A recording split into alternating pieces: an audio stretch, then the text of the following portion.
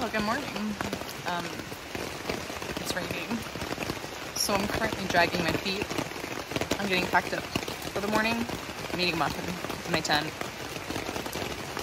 And we could either have gone 7 miles or 22 miles today to get to a road crossing. We decided that we didn't want to go 22 miles because we are now really in Rocksylvania where the flat terrain that looks like this on the page is actually all rocks. So we're gonna be kind to our knees and kind of Nero and then zero and then get back on and start banging out big miles again.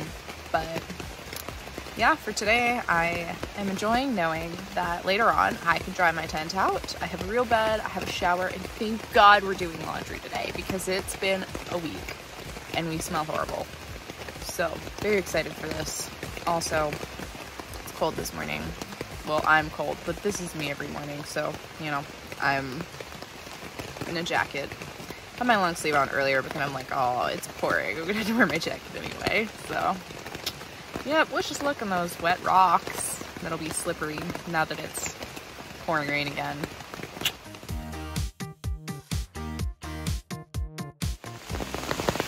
Well, it downpoured while we were trying to put our tents away. So my butt's soaked because everything was wet when we put our tents away. My tent is so heavy and now it's still downpouring and my GoPro's being finicky so I'm trying to keep my phone under my umbrella because it's pouring. Today's going to be a very wet day.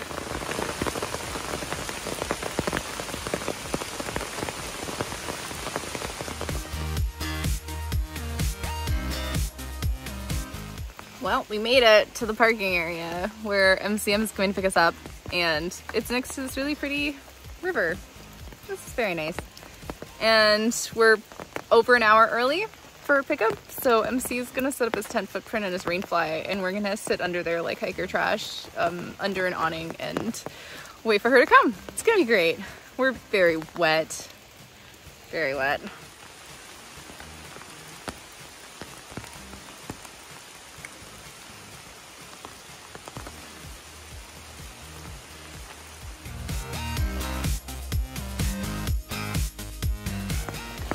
MC lovingly set up his rainfly for us three to fit in a one person rainfly. I have the smallest tent of the three of us.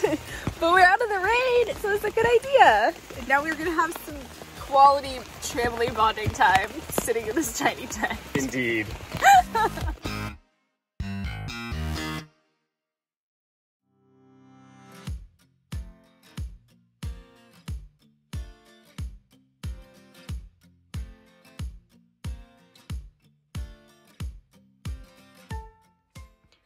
Well, we made it to MCA's house. It's Mountain Crusher's aunt, uh, Diane. She's amazing and she's a great cook. She fed me as soon as I got here because the guys stopped at Sheetz on the way back. Um, and I was too tired, so I slept in the car.